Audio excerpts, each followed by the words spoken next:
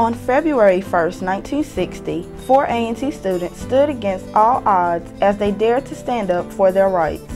Ezell Blair, Franklin McCain, Joseph McNeil, and the late David Richmond all sat down at a segregated lunch counter in downtown Greensboro.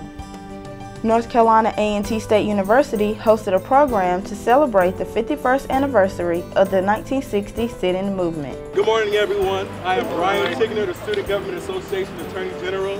I'd like to thank everyone for coming out to this event. Today we'll be having the laying of the moral wreath. This is to commemorate the life of the late Dr. David Richmond. This is an opportunity, opportunity for us to reflect on the contributions that they've made to society. So again, I would like to thank everyone for coming out. First, we will have the laying of the wreath.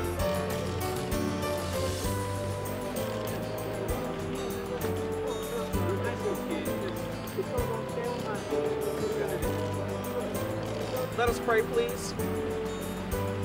Eternal, holy, and all-wise God. The four men bowed their heads and stood under their own statue as one member of the Student Government Association said a prayer of comfort.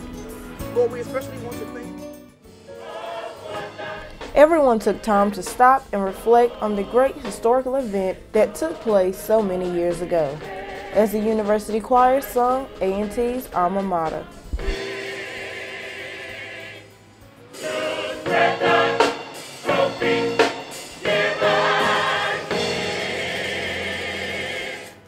Jibreel Khazan, formerly Ezell Blair, humored the children in the audience with an old wives' tale. Then the students had their own time to shine as they showed their singing skills.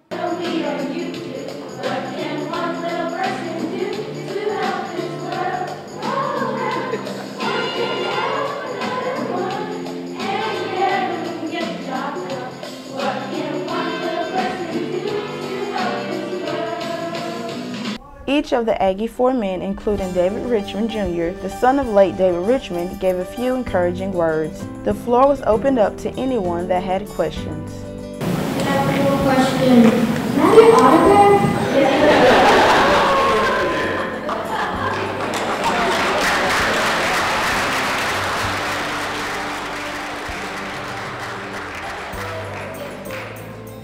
By the end of 1960, the sit-in movement had sparked the beginning of a countrywide epidemic, reaching at least 250 cities, causing over 400 sit-ins around the country.